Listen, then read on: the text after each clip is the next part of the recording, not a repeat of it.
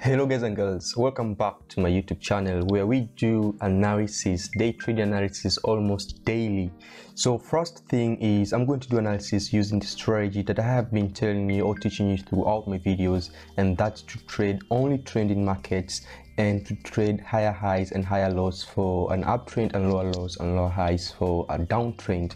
Now guys and girls before you proceed trading and i should just say before you start doing analysis make sure you say to yourself i will only trade market structure for today and nothing else. Okay? Now here on volatility index this is a perfect example of the market that was on an uptrend movement. And since we know that for an uptrend movement to be termed to be officially over the previous higher low has to be broken first so looking at this volatility 10 index right here, is this uptrend market still on or still over? How can we know this uptrend market is over?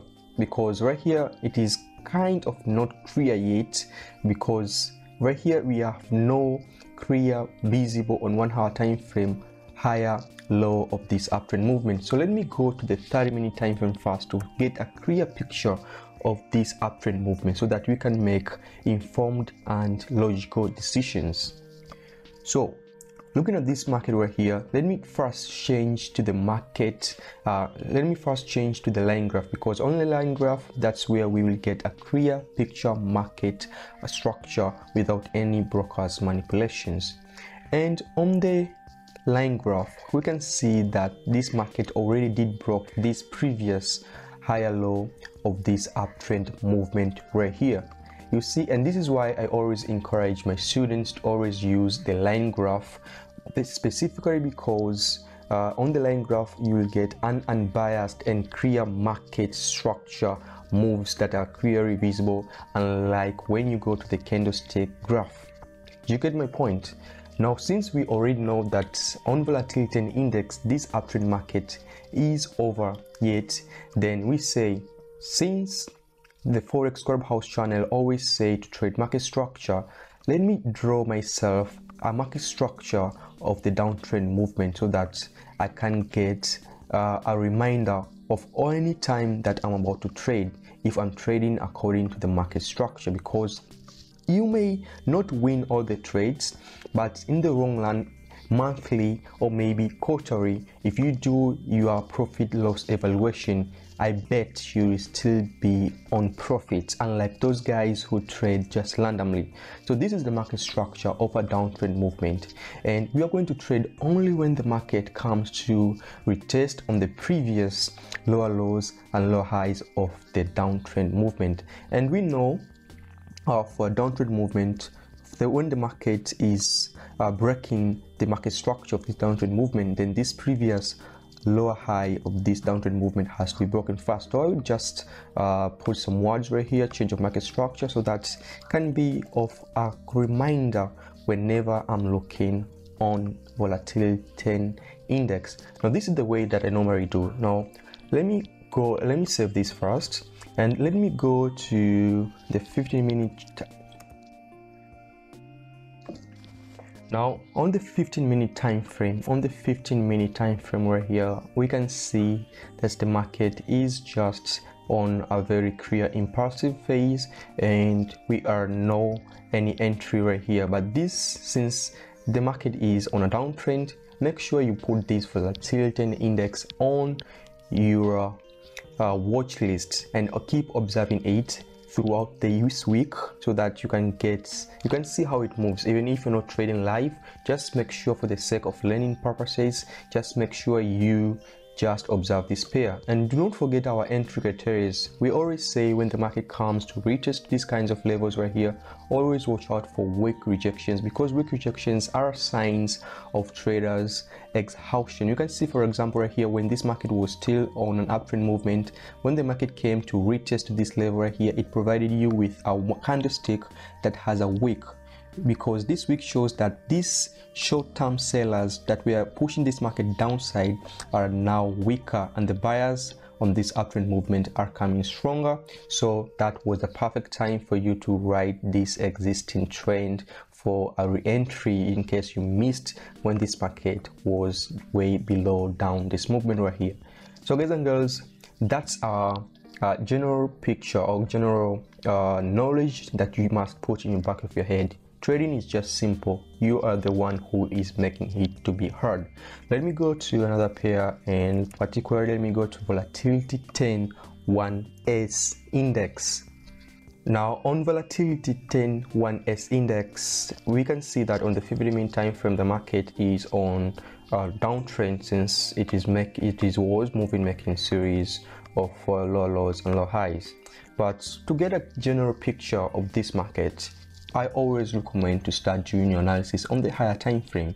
So particularly on this um, market structure, so particularly on this index right here, I will start with the 4 hour time frame since we are day traders. This strategy works best if you are a day trader and for, for those who with huge capital, it can even work for swing traders. But since I'm more of a day trader, uh, the 4 hour time frame is more than enough for me to enter this trade and right here we can see the market um, was from a very very very very very strong bearish impulsive phase right here. You can see very strong it was moving in an almost clear uh, as a straight line you can see there even there was not even a retest of, of any kind now, the general picture of this kind of movements is you should know that when the market moves this way, then the market must retest this movement, such as this, at least to 70 to 90% before actually proceeding to the downtrend direction. Now, this uh, I came to of this knowledge throughout my years of experience when trading the synthetic market. So I thought that I should share with you when the market moves clearly and sharply as this, just know the retracement of this kind of movement should be at least 70 to 90%. And for learning purposes, I would suggest that you put this volatility 10 uh, 1S index on your watch list and observe how the market will retest this level and furthermore let me go first to the one hour time frame so that we can get a slightly um, picture of the market view that has been hidden on the four hour time frame and on the one hour time frame you can see uh, right here that this uh, downtrend movement was long broken according to our market structure of the downtrend movement because we can see the previous lower high of this uh, downtrend movement was broken right here when the market just broke and retested this level right here to form new higher highs and higher lows. So particularly you can say that this uptrend market that was formed two was already broken. When the market broke this level right here and you can see that we as day trader the market may have came to an end of retesting this uh, bearish impulsive phase. And we can say that since we are day traders and we can say that okay for today the market on volatility and one index may continue selling because technically we are on a downtrend. Now it is very uh, crucial to to know that not always is a trading day not every day is a trading day. You just trade market structure. And most of the times when i come to my charts i spend most of the times observing more than executing. That's why you may find i'm not taking trades every day because if you want to force trades then in the long run you'll just lose your money.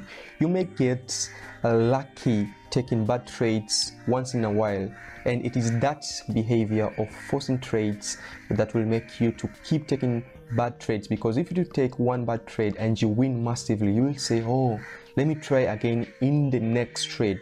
And what happens in the next trade you may get lucky but there is a high possibility that you will lose that trade. And you will say but i won last time. Let me enter into those kinds of trade again. You will deposit again and you will lose. You will deposit again and you will lose. And you keep saying forex is uh, gambling forex is not profitable and all sorts of blah, but in the real sense it is what your mind eh, the real sense the problem is in your mind. Because if you control your psychology and you say i know how the market structure moves like the market right here is retesting. But i don't see any entry confirmations. Should i just intersell trade so that this market may not leave me? Avoid those kinds of mentality. Just wait for the market structure to form and execute your trades fearlessly. Guys and girls, I hope you have learned a few things when discussing those two indices, and I hope you have a nice trading day. Bye bye.